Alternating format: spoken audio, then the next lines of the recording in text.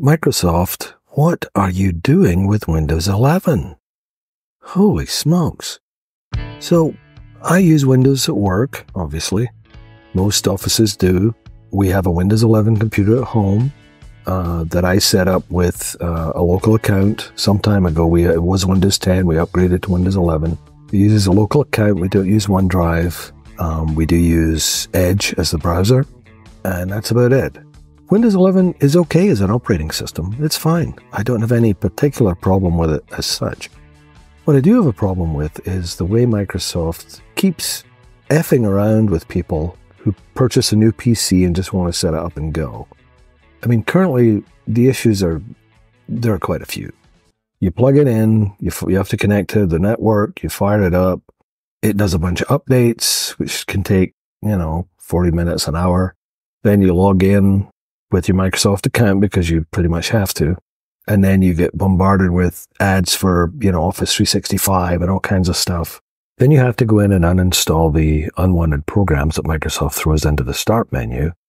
And this is not even talking about the, the bloatware that HP and Dell and all the other manufacturers put in there. This is just Microsoft stuff I'm talking about. I mean, Windows 11 is not a great out of the box experience these days there are a few things recently that have kind of brought my this to my attention again. And It's always bubbling under the surface with me, the sort of low level irritation with the way Microsoft treats Windows users. One is the, the recall thing where they had a, an AI powered uh, system called Recall, which was supposed to enable you to better interact with your computer to pull up data that you'd used in the past, to search for things semantically, and to do ostensibly cool stuff like that. Microsoft's in- implementation of it was so ham-handed and just ugh, dumb. Uh, people pushed back on it, and their Microsoft ended up pulling it back. They're, you know, I'm sure they'll bring it back at some point, maybe rebranded, but that was a bit of a disaster. Then the newer versions of Windows 11, the current versions, are making it even more difficult, uh, almost impossible, in fact, to set up a Windows 11 computer without using a Microsoft account to log in with. It's very, it makes, they make it very obscure and difficult to use a local account. So, I mean, why would you want to use a local account? Well, just for privacy. If you don't want to use stuff like OneDrive and that kind of thing, you don't want your data spread all over the Microsoft cloud, which isn't the most reliable or secure thing in the world. Let's be honest.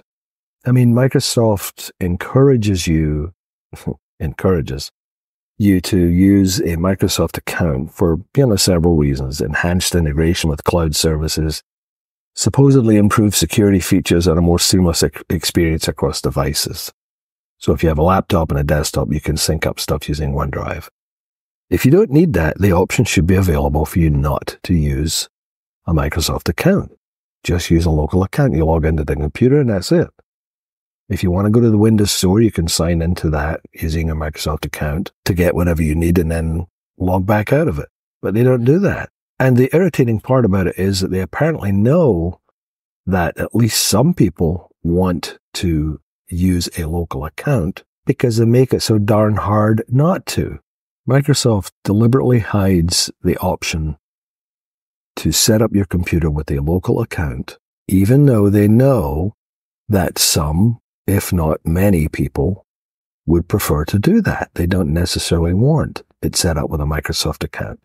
If they do want it set up with a Microsoft account, that's fine, but give them the option not to. That irks me no end. It's just one of those things where I think Microsoft just wants to have access to your data for whatever reason, and that's the end of it. The other thing they've been doing that users have reported that OneDrive backups were initiated without their explicit consent or clear notification. So if you're not familiar with OneDrive, when it does, when you initiate OneDrive and it's syncing things up, it moves files around. It, it can move files from your local system to the cloud and keep them in the cloud. Um, there are various options you can use, but it gets complicated and it's not always obvious. The file system on the computer changes a little bit because it, it doesn't store in the old locations. It stores in a, a OneDrive location. It's a whole thing. And the Microsoft backup feature, the OneDrive backup is not really a backup. It's a, a sync. So if you delete a file on your local system, it gets deleted in the cloud version and vice versa. So you still have to be careful. But doing that without giving explicit consent to do it, that's just weird.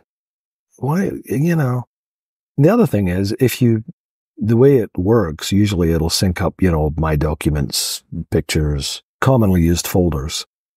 But then the free version of OneDrive, the free allowance you have with a Microsoft account for OneDrive is five gigabytes.